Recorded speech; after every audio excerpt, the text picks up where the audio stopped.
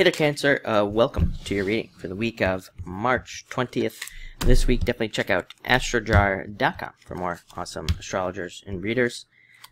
But this week, I'm going to be doing things a little bit differently, spread-wise, so I'm going to break it down into sections, and your first section is finance. You have the Nine of Diamonds here as your first card. Very good card for money, of course. Represents new money cycles and new changes in money cycles as well. You might have noticed even recently how some of you may have gone through a dip in your finances, but just know that it will be coming right back up this week. Even even in your uh, general section here, you have uh, some very good money cards as well. So I think money will pick right back up. But again, this can represent an ending of cycles. Sometimes brings a dip in our finances, but it usually just goes right back up. Uh, just because there's changes and things like that going on. It can also represent new jobs, new businesses, opportunities to travel as well come up with this card, and opportunities to travel for uh, business come up here as well.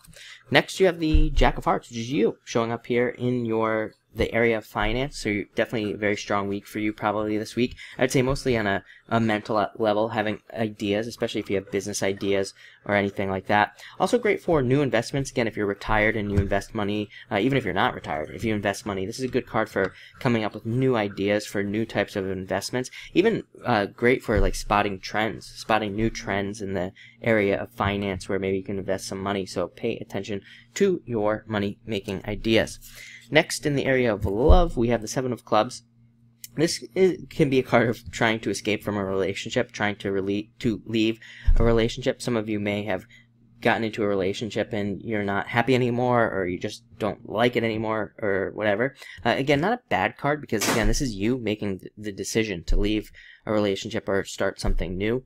Uh, and uh, again, it's card of action, so usually you do with this card. Uh, if you're not in a relationship, this can be you trying to get one. It can be you trying to escape being single. So again, you could be taking actions to become not single, basically, at this time. Next, you have the Ace of Spades, again in the area of love, and uh, Ace of Spades is a card of transformation, transforming into something new. I would say all water signs, uh, especially during this retrograde and you know happening in Pisces, I think all water signs are kind of uh, looking at what they want in relationships, what they want people to look like in their relationships, all, all those types of things. So I do think there is a lot of transformative energy. This is a good card of victory as well, especially if you've been single for a while. I would say probably probably no relationships coming in right now, but definitely can represent victory in the future, getting into a relationship that really makes you happy. Next, we're going to look at uh, general advice here, and we start off with the Ten of Diamonds. Very good card again for money. Could be a very good money week for you, or at least kind of the beginnings of starting something financially that are that's very successful. Again, also a great card for travel and moving, and even traveling for business. You have uh, two two travel cards, so could be a great time for that. Uh, great card for networking and uh, asking people around you for even help financially. I'd say maybe mostly close family members or even people you work with. Maybe, again, maybe not directly asking them for money, but maybe asking people for ideas, especially if you're in business. This is a great card for asking for, for just help as in like other people's ideas helping you to get ahead in your business. Maybe they see something you don't. It's a great time to bring bring someone like that in. Uh, also, again, if you own a business, this is a great card for doing things like surveying and, and polling or getting ideas from your customers. So if you do happen to have customers, now is the time to do it with this card. Uh, and um, yeah, that's that. Next, we have the King of Clubs, a very good card for authority and dealing with authority. So if you're dealing with anything involved in the government or court or uh, even a boss. This is a great card for that. It allows you to communicate with those people on a very high level.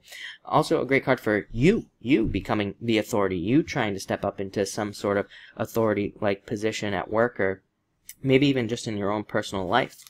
And finally, we have the Five of Hearts. This can represent jealousy from people around you. I'd say this is maybe your one challenge this week, is uh, just needing to ignore the people who are maybe jealous of you or jealous of your situation. I think it's because maybe things, again, are, are improving for you. And whenever I see a nine, it's a good good card of improvements, but it, nines and fives together can definitely represent other people kind of um, being jealous or putting their own stuff on you because things are getting better for you. So definitely, it's just jealousy to be ignored. But looks like a great week. So thank you for watching.